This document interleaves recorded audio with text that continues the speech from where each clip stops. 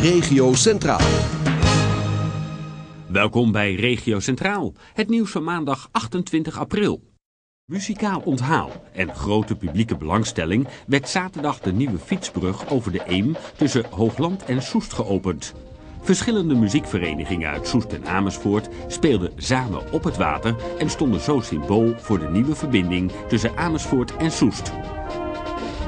Er zijn uh, vanuit beide gemeentes uh, allerlei muziekverenigingen en ook uh, dorps- en, en, wijkverenigingen die hierbij betrokken zijn, ook in de organisatie.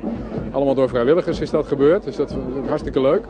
En het mooie ervan is ook dat die dat ook samen hebben gedaan. Dus dat de twee gemeentes ook daarin elkaar weer hebben opgezocht.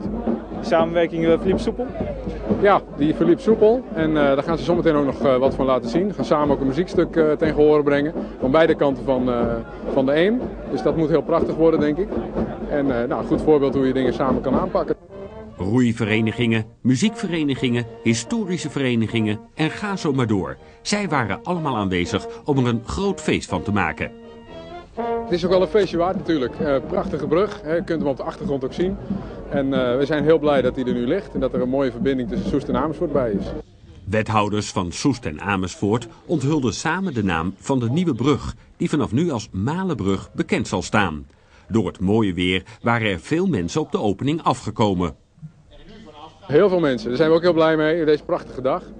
En uh, ja, dat bewijst ook wel dat mensen het ook echt de moeite waard vinden om hier naartoe te komen. En uh, wat ik goed, als ik het goed begrepen heb, mensen zitten ook echt op te wachten dat, uh, dat ze nu ook van deze verbinding gebruik kunnen maken. En dat kan nu gelukkig.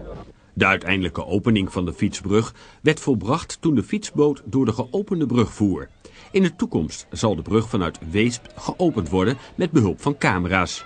De brug heeft in totaal 1,4 miljoen euro gekost.